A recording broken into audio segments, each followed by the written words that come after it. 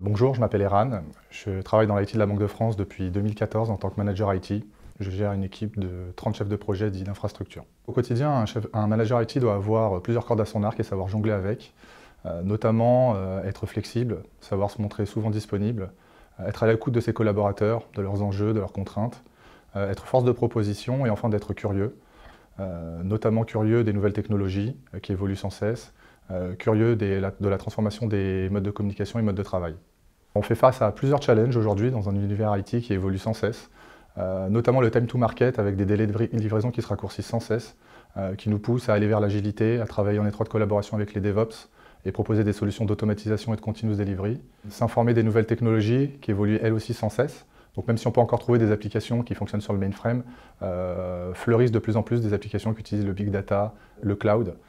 Et enfin, euh, la cybersécurité qui devient incontournable euh, dans une institution comme la Banque de France.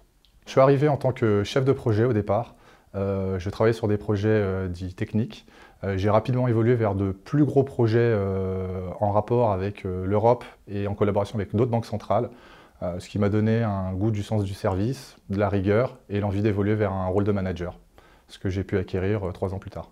J'ai fait le choix de rejoindre la Banque de France euh, avant tout pour donner un sens particulier euh, à mon métier, euh, en contribuant à mon niveau aux différentes missions que la Banque de France rend aux particuliers, aux entreprises ou à l'Europe.